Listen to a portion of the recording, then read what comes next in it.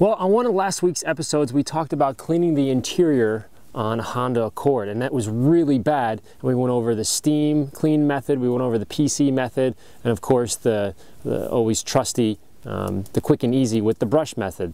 Now this one here, I'm working on a Porsche Cayenne, it's not that dirty. The seat just has what I call average or common dirt that you get every month or two, and it's just from going in and out of the seat with uh, with your pants or your jeans.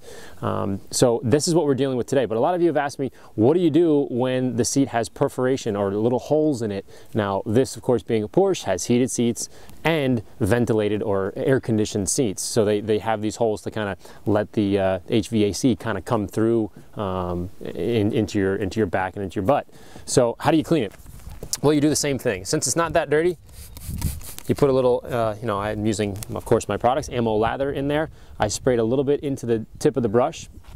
Then I'm gonna take it and I'm gonna use little circles, just like this. As you can see, there's a bunch of suds coming up, just like there would be on uh, on normal leather, like the leather around the edges here that are, that's not perforated. So you're gonna do this. Now, if you had a, a, steam machine, that would not be a bad choice either, because steam puts down very little water, which is what um, you know the goal here is to avoid.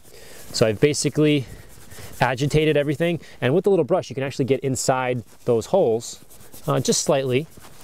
Then what you're gonna do, you're gonna take your microfiber towel, just lightly clean it up. And it's really gonna show a difference comes out there. Now the big trick here is you say, all right, well, it seems like uh, what happens if the cleaner went into the holes? First of all, you're not going to use a whole lot of cleaner because it doesn't need a whole lot of cleaner. Um, and the second thing is, if you feel as if you've put uh, too much in there, this is the next trick. Just get a vacuum. Turn your vacuum on. This is a Festool vacuum. And you lightly, very lightly, not to scratch the leather, if there was any extra moisture, this is gonna suck it right out and you'll be clean, good to go.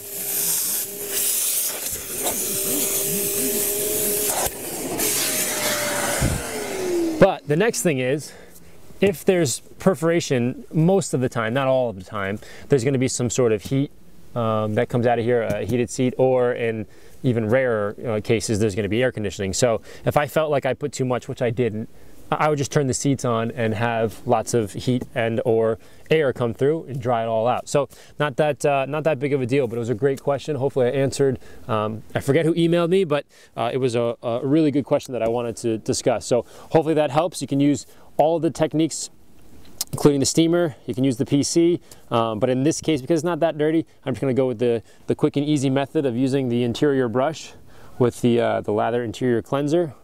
Clean it up and you're good to go. If you're worried about it, just sleeping in, use the vacuum or turn the heated seat on and uh, it'll be great.